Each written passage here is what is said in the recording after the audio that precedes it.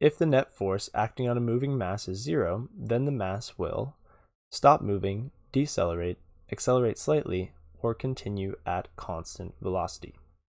So remember that if the net force is zero, then the acceleration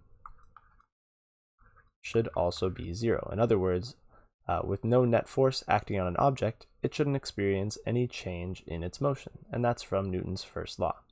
It tells us that objects at rest tend to stay at rest, and objects in motion tend to stay in motion, uh, unless acted upon by an outside force. So if there is no outside net force, uh, then the object shouldn't stop its motion. So um, stop moving is not a good answer. Decelerate is also not a good answer since that involves changing the object's motion. So does accelerating slightly. And so continuing at a constant velocity is the best choice here.